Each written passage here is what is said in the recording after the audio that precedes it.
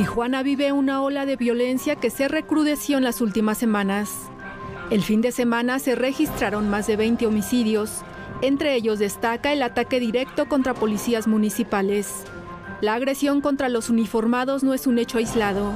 Se investiga si es parte de una persecución que han emprendido narcotraficantes por el robo de un cargamento de droga.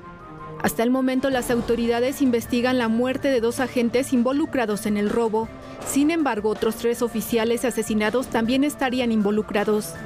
De acuerdo con la investigación, media docena de policías municipales y estatales robaron un cargamento de droga de un almacén donde los traficantes lo resguardaban.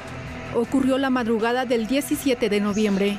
El video que ve en pantalla fue tomado por una cámara de seguridad y muestra el momento en el que vehículos de los policías salen de la bodega con varios bultos de droga, al parecer cocaína.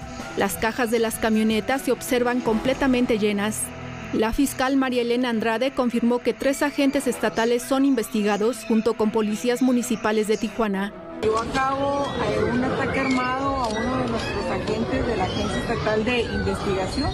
Este agente y otro grupo pues aparece en una eh, posible intervención de actividades eh, ilícitas, los cuales pues está llevando a cabo la investigación la FTR.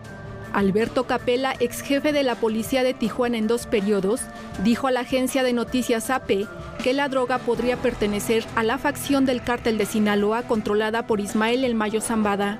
El 18 de noviembre, pocas horas después del robo, hombres armados atacaron la Fiscalía Federal en Tijuana. Una hora después, uno de los policías municipales presuntamente involucrados fue asesinado a tiros en una calle de Tijuana. El 24 de noviembre hombres armados atacaron la Fiscalía Estatal y tres días después un detective estatal fue asesinado mientras cargaba gasolina. Los otros dos agentes fueron atacados a plena luz del día en calles de la ciudad. Para ADN 40, Fuerza Informativa Azteca.